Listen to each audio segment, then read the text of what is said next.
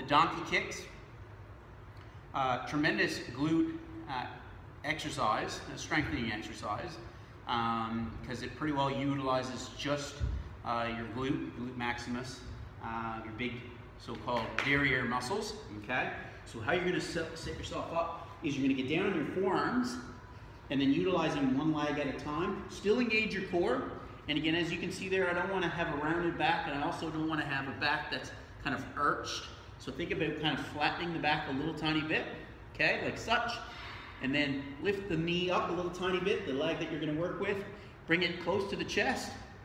And then think about elevating your heel. That's the goal here, is you're trying to put the heel to the ceiling. You're not kicking out like this. You're gonna go straight up and back. Engage the glute, straight up with the foot. Completing the set number of reps with that leg, and then of course switching.